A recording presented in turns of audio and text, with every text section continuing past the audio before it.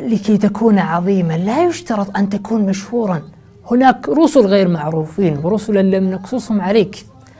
لما زف السائب بن أقرع للفاروق بشرى الانتصار في نهاوند وسأله عمر عن قتل المسلمين قال قتل فلان وفلان وفلان ثم قال وآخرون من أفناد الناس لا يعرفهم أمير المؤمنين. فقال عمر رضي الله عنه وما ضرهم ألا يعرفهم أمير المؤمنين لكن الله يعرفهم. لكن الله يعرفهم. الإمام مالك البخاري موسى بن نصير النووي صلاح الدين كل هؤلاء المشاهير تعلموا على يد رجال لا نعرفهم.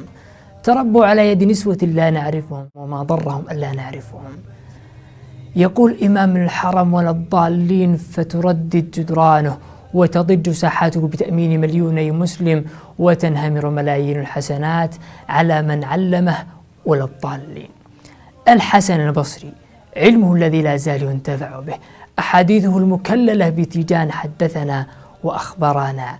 مواعظه التي سطرتها دموعه على صفحات العابدين. يأتيه أجرها بإذن الله ويذهب الأناس علموا الحسن البصري وما ضرهم ألا نعرفهم من الذي أقنع محمد الفاتح أن يفتح القسطنطينية؟ من الذي علم عبد الرحمن السميط كلمة لا إله إلا الله؟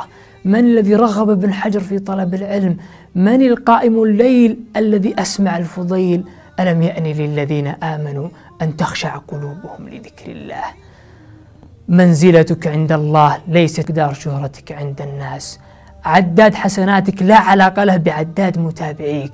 العظمة ليست أن يتناقل الناس صورك أو يتداولوا مقطعا يوثقون فيه مشروعك الخيري العظمة أن تكون مشهورا في السماء.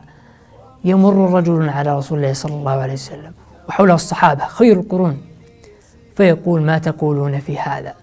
فيقولون حري إذا خطب أن ينكح وإذا شفع أن يشفع.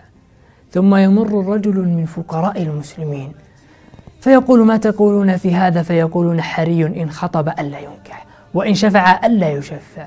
فيقول بأبي هو وأمي هذا خير من ملء الأرض مثل هذا. الذين يقيمون هنا صحابة ومع ذلك لم يعرفوا من الأعظم. لا تحسد المشاهير واسعى أن تكون مشهورا عند الملائكة. لا تحسد النجوم باستطاعتك أن تكون من نجوم السماء السادسة. مولانا هم ولنا الفلاح. مولانا هم ولنا الفلاح.